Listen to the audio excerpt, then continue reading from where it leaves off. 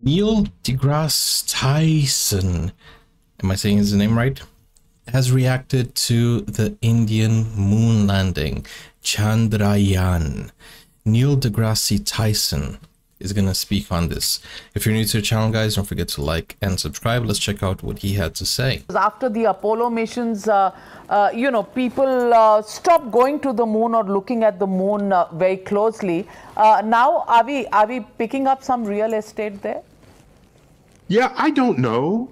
I just, if we're candid about our my own American history, we didn't go to the moon because we're explorers and it's in our DNA. We went to the moon because we were scared of the Soviet Union. Whoa. And if they got to the moon first, they would have the high ground. What does that mean? Does that influence our safety, our democracy? So there was a lot of geopolitics going on at the time. And then when we learned they were not going to the moon, we ended the Apollo program.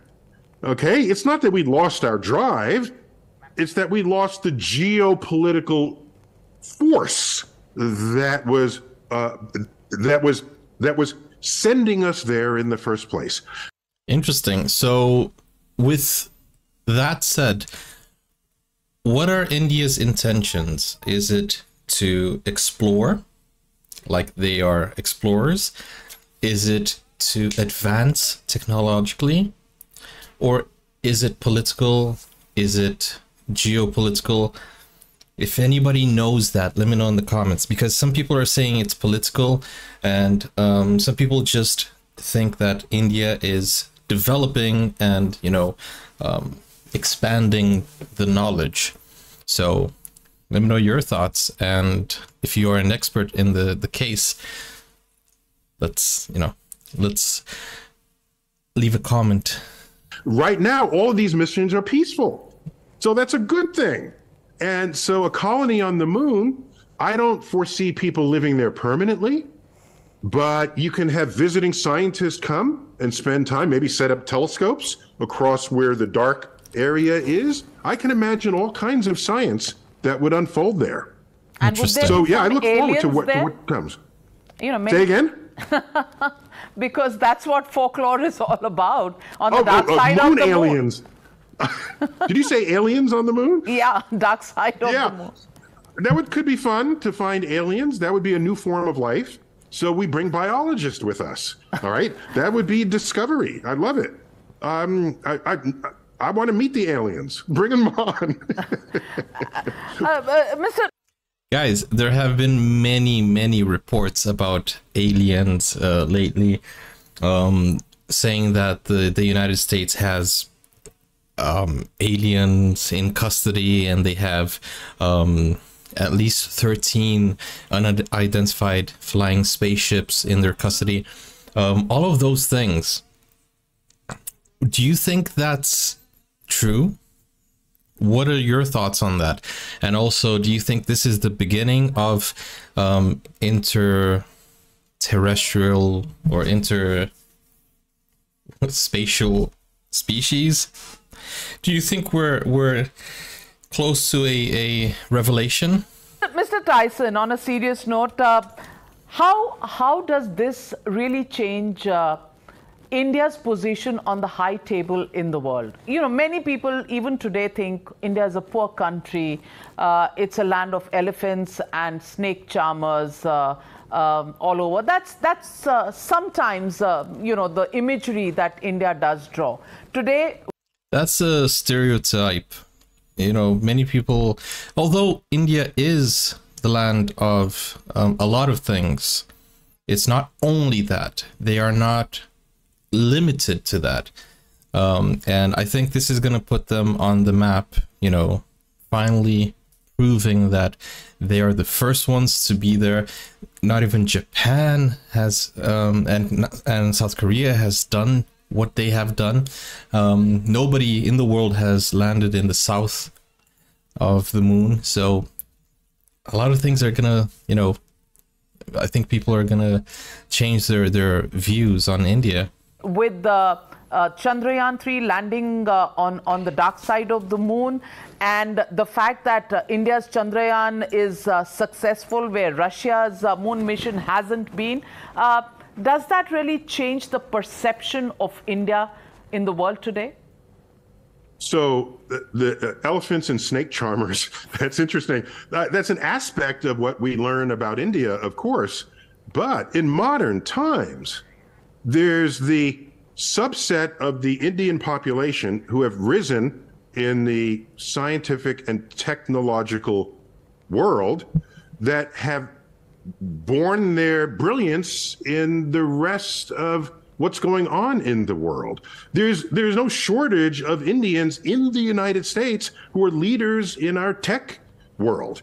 So I think in recent decades, no, Americans were not thinking of India as a place of snake charmers. No, no. Maybe 50 years ago, not today.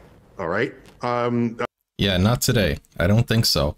Um, and the fact that India is involved in every single business like Google CEO, um, not only business but politics. We have Rishi Sunak also. Yo, I don't think India has that stereotype um, vision that everyone thinks it does. It used to be in the past, maybe, but nowadays I don't. I, don't know. I don't. I don't see that.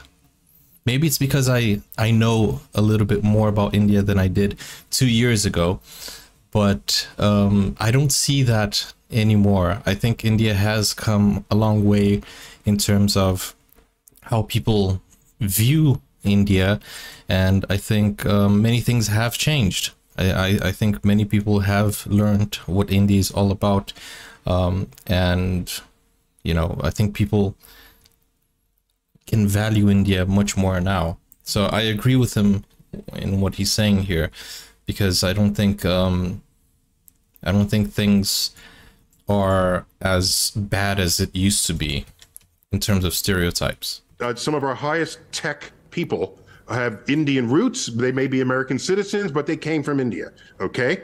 And and they're later latter day American citizens. So we we know the potential of the Indian population here in the United States. That's nice. my first point.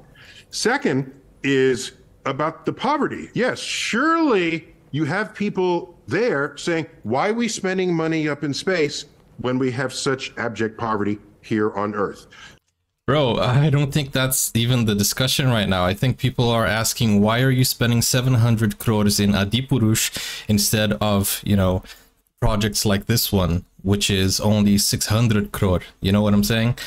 I think that's a bigger issue right now. I don't know. I might be wrong. That's a legitimate question to ask.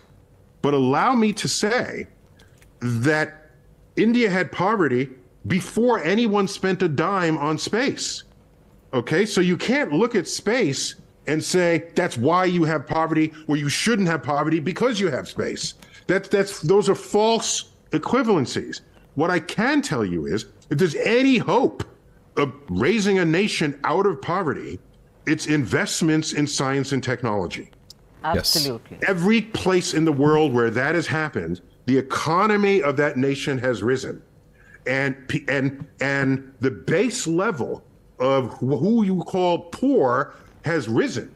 So that so India has a long way to go in that department yes.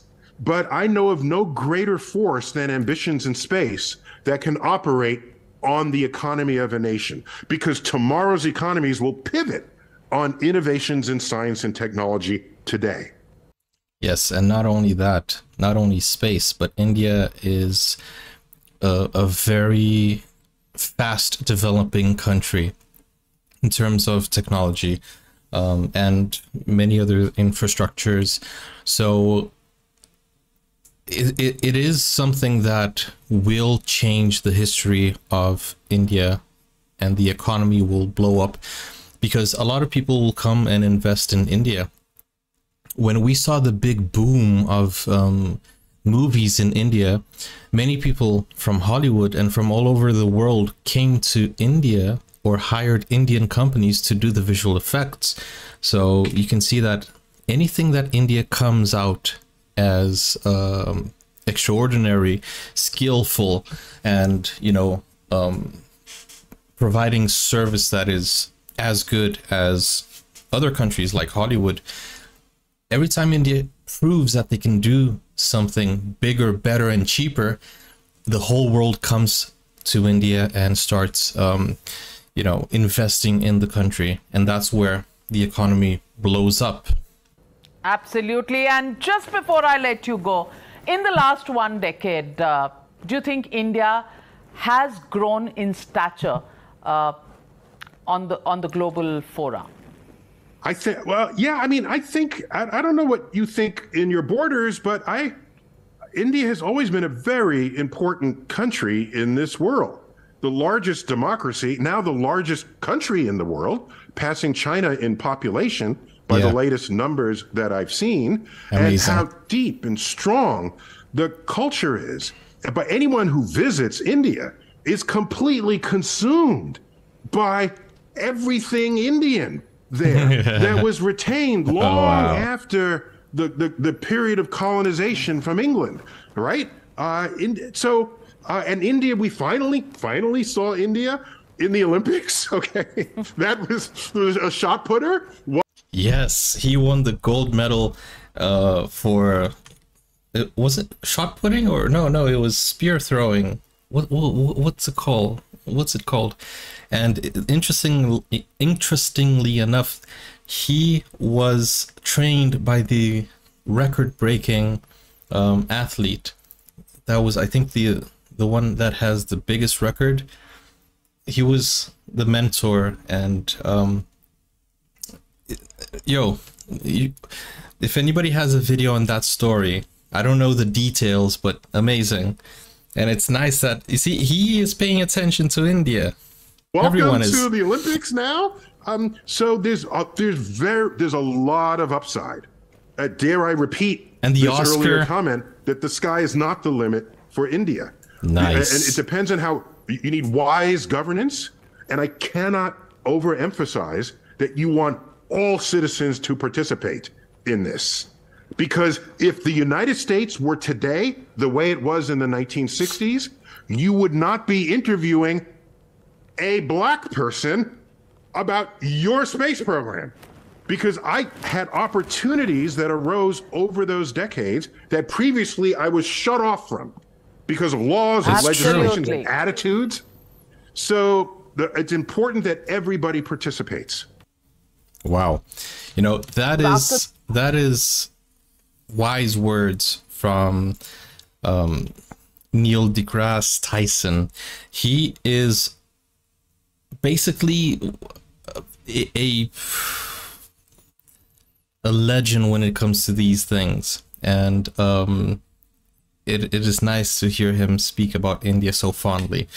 You know, I have been a fan of India since I watched KGF, and um, this whole channel was built because I I fell in love with India. So right now I love um, India and everything that I have seen, um, and I still need to go there, but from what I can see um, from afar, it is just a very inspiring country, and it reminds me a lot of my own country.